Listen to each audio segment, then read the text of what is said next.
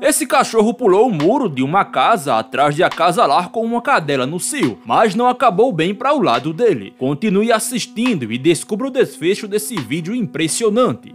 Uma cadela no cio é capaz de liberar feromônios que atraem uma reca de cachorros doidos para se reproduzir. E você já deve ter visto o drama que é uma só cachorra andando pela rua com mais de 10 cães latindo e a perseguindo o tempo todo, sem falar das brigas constantes que acontecem entre eles.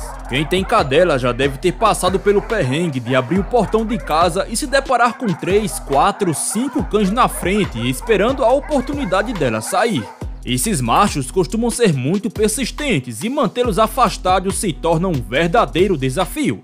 Mesmo mantendo a cadela dentro de casa para evitar a gravidez, é necessário fazer com que ela brinque, se exercite e se distraia, pois ela pode apresentar mudanças no seu comportamento. No entanto, os machos são capazes de sentir o odor a até um quilômetro de distância, e não medirão esforços para encontrá-la. E é bem provável que eles também comecem a urinar nas portas e paredes exteriores da sua casa. E neste vídeo, um cachorro de rua não mediu esforços em pular o muro para cruzar com a fêmea. Só que ele não esperava que na residência havia um cachorro gigante que correu atrás dele e o abocanhou. O doguinho até tentou pular o muro de volta, mas acabou levando uma pisa, não só do grandão, mas também das cadelas.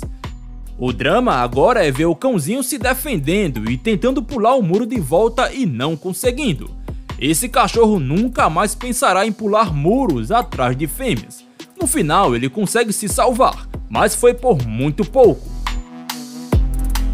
E aí, o que você acha? Deixe seu comentário. Se gostou do vídeo, clique no like e se inscreve aqui no canal Zona Animal Selvagem. Valeu e muito obrigado por assistir.